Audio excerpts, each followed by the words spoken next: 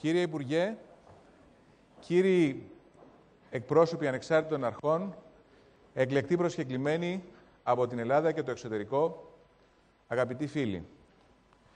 Με μεγάλη μου χαρά σας καλωσορίζω στο 7ο Διεθνές Συνέδριο της ΕΕΤ με θέμα ψηφιακές επενδύσεις για την ανταγωνιστικότητα και την ανάκαμψη. Το φετινό συνέδριο λαμβάνει χώρα σε μία κρίσιμη στιγμή.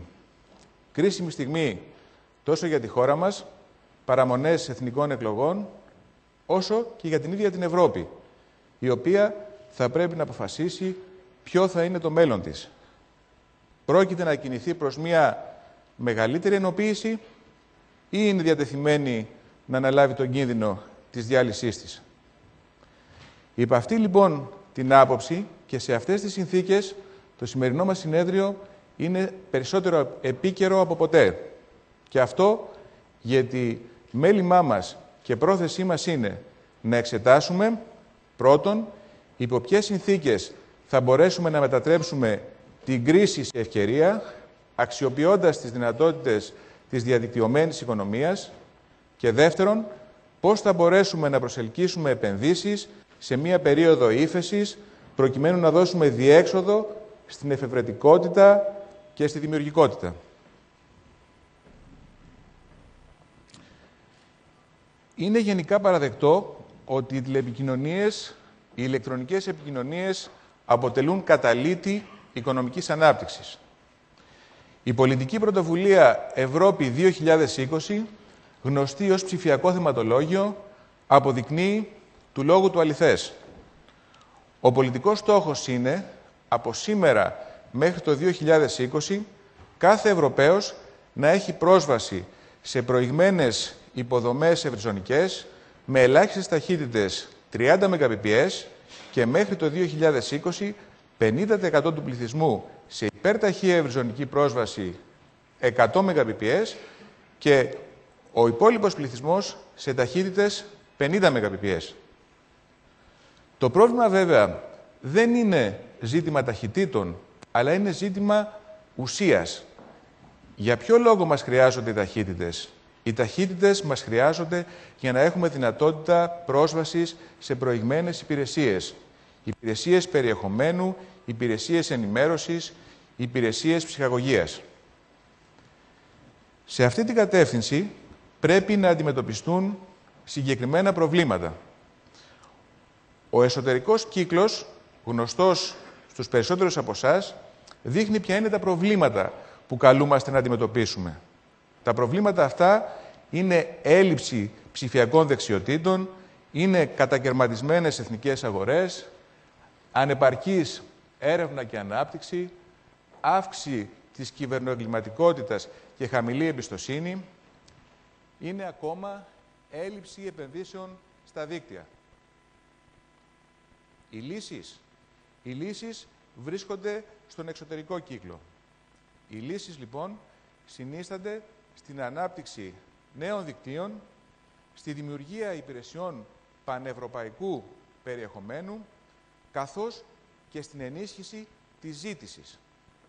Στο σημείο αυτό θέλω να επισημάνω το εξής. Υπάρχουν περιπτώσεις, και θα αναφέρω μία χώρα με συγκριτικά ε, χαρακτηριστικά με την Ελλάδα, όπως η Πορτογαλία, όπου το δίκτυο οπτικών ινών στο σπίτι έχει κάλυψη περίπου ενός εκατομμυρίου σπιτιών, ενώ η χρήση αυτού του δικτύου είναι πολύ χαμηλότερη από την κάλυψη. Θα αναφέρω ένα δεύτερο παράδειγμα εκτός Ευρώπης. Αυτό της Σενεγάλης. Στη Σενεγάλη το mobile broadband έχει κάλυψη 30% ενώ μόνο 2% του πληθυσμού χρησιμοποιεί αυτή τη δυνατότητα. Αυτά λοιπόν είναι ο στόχος. Το ζήτημα είναι πώς αυτός ο στόχος μπορεί να επιτευχθεί. Με ποια επενδυτικά μέσα, με ιδιωτική χρηματοδότηση, με δημόσια χρηματοδότηση, με κρατικές ενισχύσεις. Πώς μπορούμε να περάσουμε από τη σημερινή κατάσταση στο στόχο του 2020.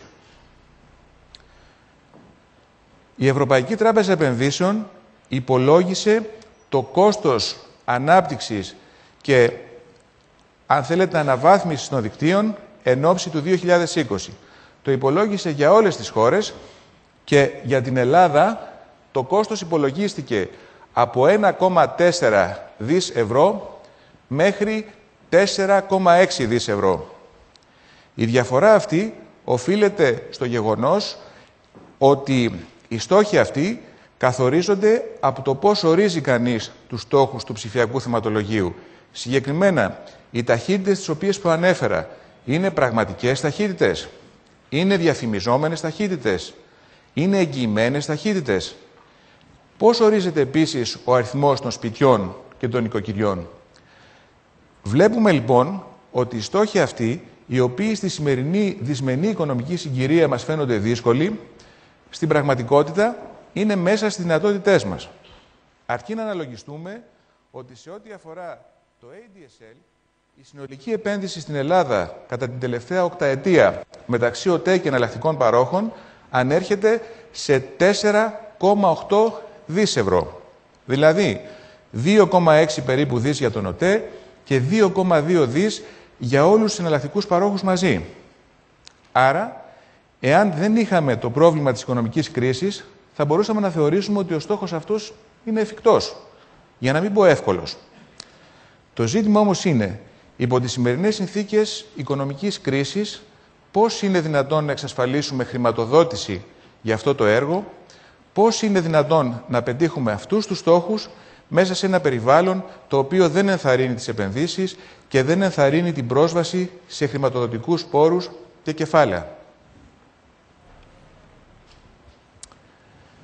Είναι γεγονός ότι ο δρόμος της ανάκαμψης είναι σε μεγάλο βαθμό ψηφιακός. Η ΕΤ υποστηρίζει πάγια ότι για να πετύχουμε το στόχο αυτό χρειάζεται να ακολουθήσουμε μία εθνική ευρυζωνική στρατηγική. Μία εθνική ψηφιακή στρατηγική η οποία θα βασίζεται σε δύο κύριους άξονες. Ο πρώτος άξονας είναι οι προηγμένες ευρυζωνικές υποδομές και ο δεύτερος άξονας είναι οι προηγμένες υπηρεσίες. Θέλω να τονίσω ότι αυτές οι δύο έννοιες πάνε μαζί. Οι υποδομές, οι υπηρεσίες είναι άχρηστες και οι υπηρεσίες, χωρίς να υπάρχουν οι κατάλληλες υποδομές για να φτάσουν στον τελικό χρήστη, είναι επίσης μη εφικτές. Πού βρισκόμαστε λοιπόν σήμερα; Γιατί όλοι μιλούν για ανάπτυξη, για ανάκαμψη, χωρίς όμως να παρέχουν ένα συγκεκριμένο σχέδιο, το οποίο να έχει αρχή, μέση και τέλος. Να περιλαμβάνει τους στόχους, το χρονοδιάγραμμα επίτευξης των στόχων και τα χρηματοδοτικά και τεχνικά εργαλεία που είναι απαραίτητα. Βλέπουμε αυτή τη στιγμή δύο χάρτες. Ο χάρτης αυτός δείχνει την σταθερή ευρυζωνική κάλυψη της χώρας. Οι περιοχές οι γκρίζες δείχνουν τις περιοχές της χώρας όπου υπάρχει σταθερή ευρυζωνικότητα. Οι λευκές περιοχές είναι οι περιοχές στις οποίες δεν υπάρχει σταθερή ευρυζωνικότητα, υπάρχει όμως σε διαφορετικό βαθμό κάλυψη από κινητή ευρυζωνικότητα. Στο 2020, εάν θέλουμε να πετύχουμε 100% τους στόχους της ψηφιακής ατζέντας, του ψηφιακού θεματολογίου, θα πρέπει όλες αυτές οι λευκές περιοχές να γίνουν γκρίζες. Κατά την έννοια ότι όπου υπάρχει κάτοικος, θα πρέπει να έχει τη δυνατότητα πρόσβασης σε προηγμένες ευρυζωνικές υπηρεσίες, είτε σταθερές είτε κινητές.